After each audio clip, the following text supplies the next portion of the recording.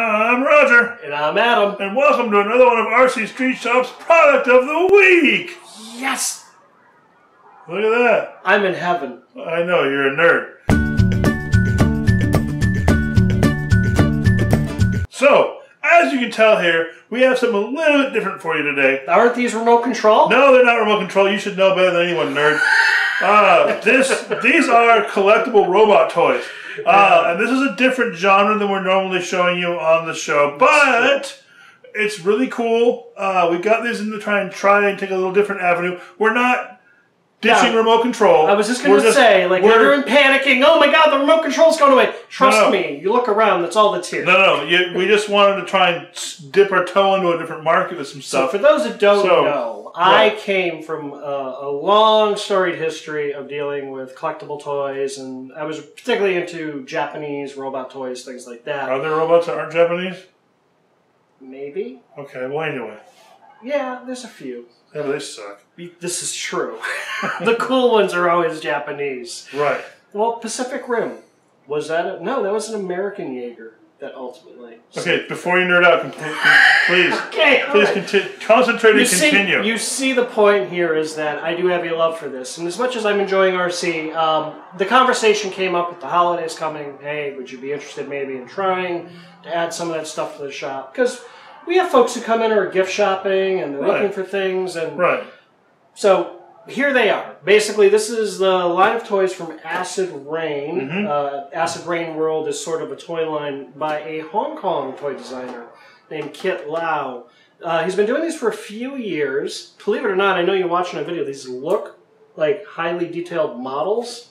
I assure you, this is a, a actual proper. Yeah, these do share a lot with like a scale model, but they're they're you can use them, you can play with them, but they have all the detail that you would see in a regular model. Like if you were to Very build a so. build a boat model or build a tank or build whatever it may be, the detail in these is just as thorough, just as just as detailed as you would find in any scale model. But what's cool about them is they're designed so you can mess with them, Pose them, pose play them. with them. right. So if I you don't touch it once, it doesn't break. I mean, it's, and that was that was kind of what blew me away. So the line started with limited run, posable action figures like you see down here, and as the line became more popular, you started adding his vehicles. Uh, things like the Stronghold here. This has been a crowd favorite for a long time. it's my favorite. It is. It not my personal favorite design. I'm not a big fan of the old school blocky robot design, but apparently a lot of people really love this one. Oh yeah. I took this one home this weekend. And this is technically this is the product of the week is the MK2 Sand Speeder Right. from the Acid Rain toy line and um, little bit on the pricey side for a toy. You know, depending on where you're looking around, you'll be paying between 150 170 But look, you guys are buying remote control cars for eight hundred dollars, so don't So- give us this. I don't want to These toys that. are too expensive. So we got these in uh, very late on Friday before we closed up, and I, I said as we were going through, I'm going to grab one of these and take a, some time to get to know it, see how I like it, and uh, I'll be honest, I'm now buying this one. This one is coming home with me. I am so impressed with it.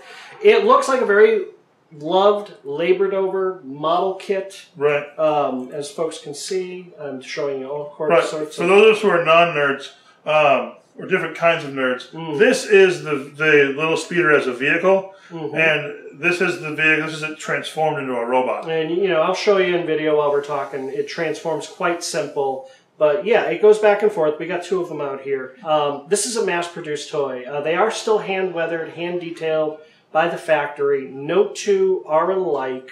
Let me repeat that. These are hand weathered. Yeah. That is a unique concept to those of us into remote control, where everything is built by a machine or some factory in China. These are assembled and they're hand painted.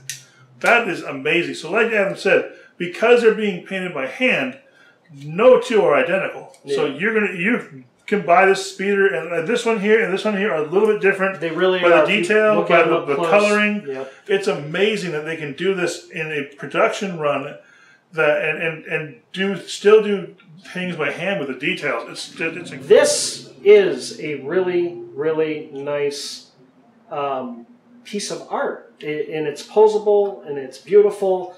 But it's a really fun, playable toy. And as a robot toy, and these these are some of the things that are important to me. is uh, it's got some really nice tight ratchet Right. joints. These are really really important.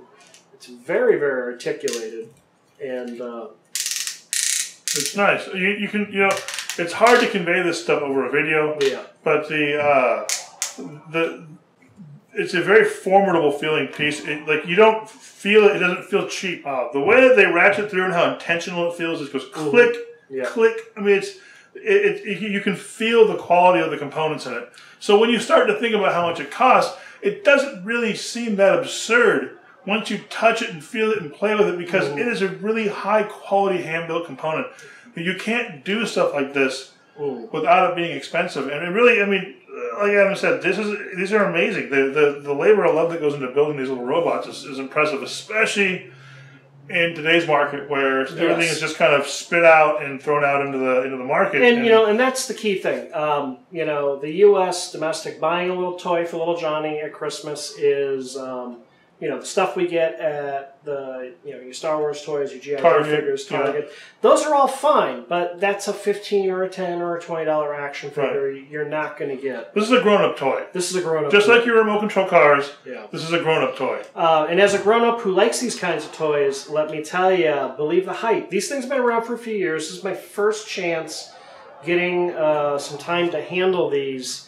Um, if you know you grew up on Robotech and GI Joe and Star Wars and Mask and that Right. kind of stuff, um, this may be right up your alley. Um, You know, Mask was the first thing I lit on fire. Was it really? Oh yeah, Oh, shame on you! It was such a great toy line. it, It, really like was. any other plastic. It really was such a great toilet. So to bring it back to this, uh, we're kind of gushing. We're a little all over the place. Yeah, Roger doesn't know how to talk about robot toys. I don't, but and I'm I haven't fine. talked about a robot toy to an audience in years. So, Well, a toy's a toy, whether it be a remote Exactly. control car or a. uh, but I was as giddy as a school kid when I came in here this morning. Was like, oh my god, this thing is great. It does everything the the way a robot toy should.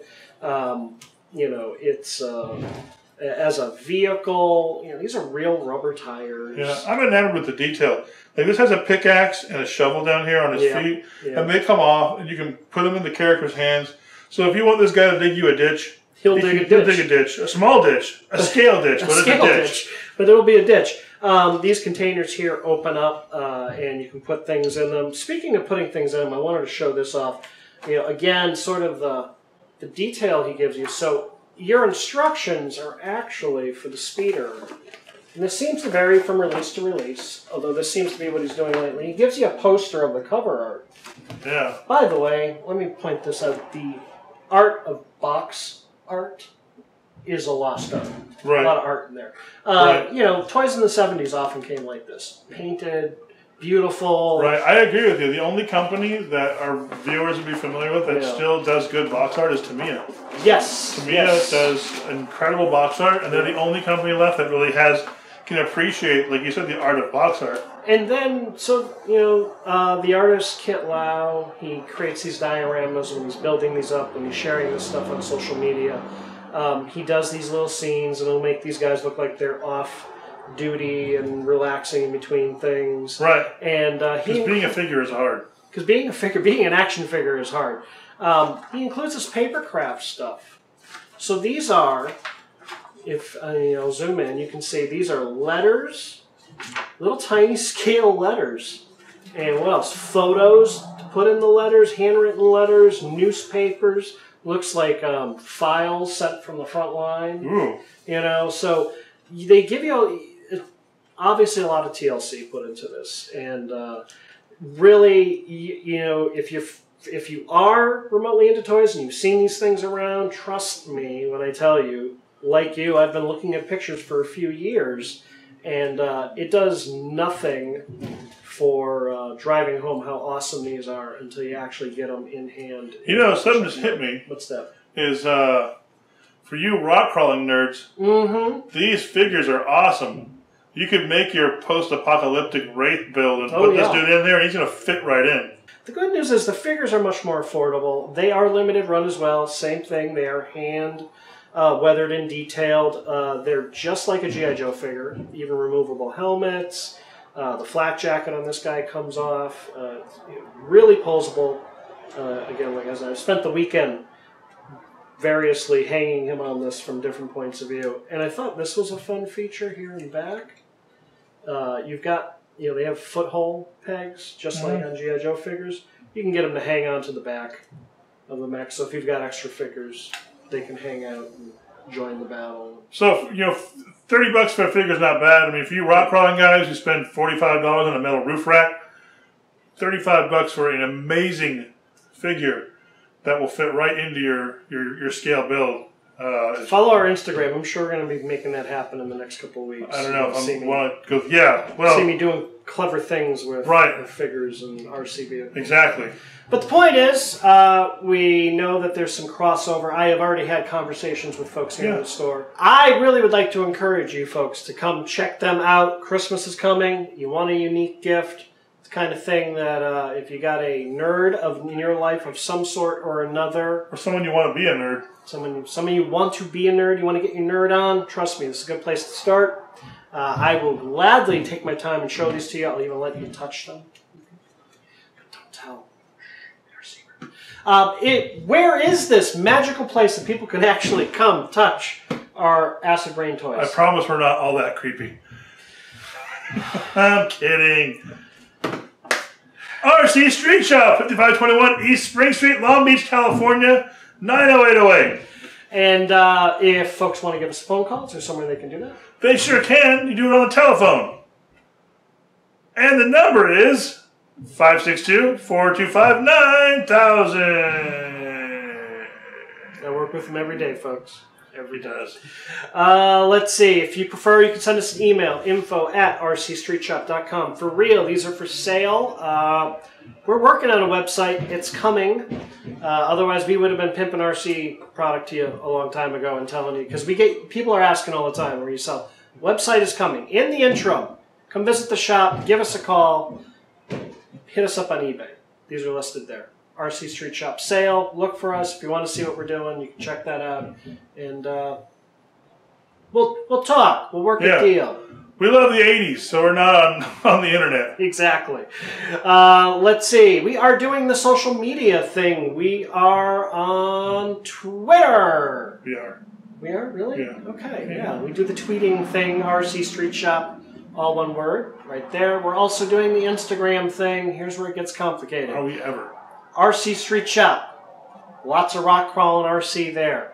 Action underscore underscore toys is us as well.